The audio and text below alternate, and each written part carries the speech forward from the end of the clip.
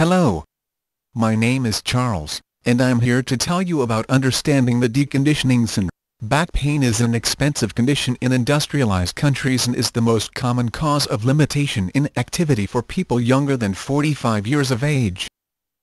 Defined as the pain which lasts longer than 12 weeks, back pain is often recognized to be degenerative or traumatic conditions of the spine.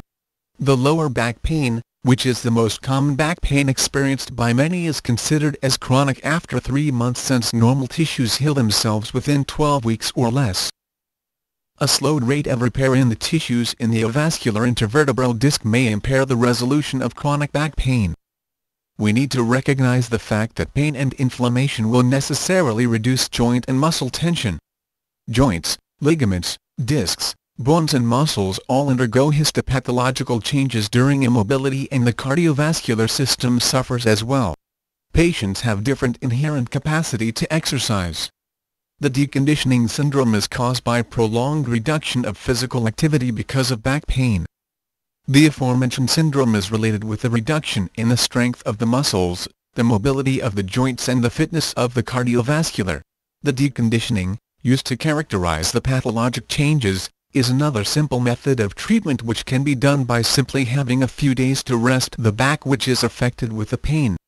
However, it must also be seen to it that no too long rest should be done since it would cause the muscles to weak and would eventually hamper the recovery. If the deconditioning syndrome is in the forefront of the doctor of chiropractic's mind, then there is an easy and simultaneous chiropractic care and concern for the patient because chiropractic care can't recondition the already reconditioned tissues. The primary concern and focus of the deconditioning process is to reduce, if not to totally eliminate, the pain. With the deconditioning process, the pain is reduced, the mobility is restored and function is maintained and monitored during the process.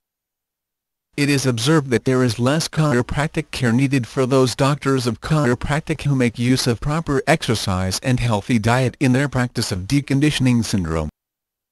Not only do they help the patients recover from their pain, but they also develop a long-term relationship, resulting to a very strong referral base.